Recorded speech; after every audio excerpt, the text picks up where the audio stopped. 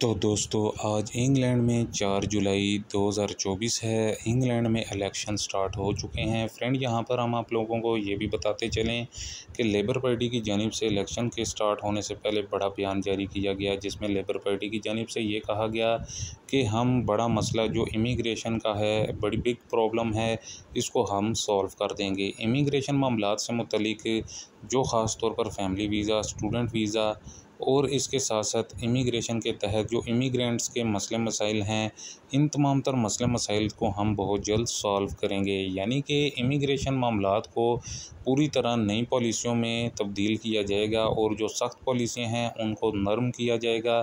کیونکہ اس ٹائم پر انگلینڈ میں جو بڑی تعداد ہے، جو شارٹیج ہے اور نئے عوام کی ضرورت ہے اور نئے لوگوں کی ضرورت ہے ورکرز کی ضرورت ہے، تو امیگریشن کے معاملات کو مزید ایزی کیا جائے گا تاکہ اگر ہم اقتدار میں آتے ہیں، تاکہ جو انگلینڈ کے اندر مسئلے مسائل معاشی طور پر بنے ہوئے ہیں اکنومیکل طور پر بنے ہوئے ہیں، اور جو بریگزٹ کے بعد صورتحال ہے، تاکہ یہ صورتحال بہتر ہو سکے یعنی کہ امیگریشن پالیسیوں کو پوری طرح سے رینیو کیا جائے گا اور ایسی پالیسیوں کو دیکھا جائے گا جو کہ عوام دوست پالیسیاں نہیں ہیں۔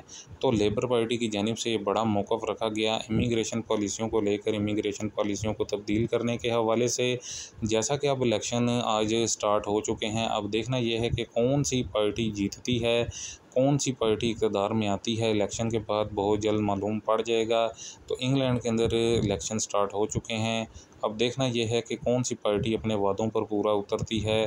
کیا اپنے وعدوں پر پورا نہیں اترتی ہے؟ بہت جلد معلوم پڑ جائے گا۔ تو فرینڈ، یہ ایک بڑی گڈ نیوز امیگریشن پالیسیوں کے حوالے سے امیگرینٹس کے لیے اور جو یو کے میں اپنی پالیسیوں سے تنگ آئے ہوئے ہیں، ان کے لیے یہ ایک اہم نیوز جاری ہوئی ہے۔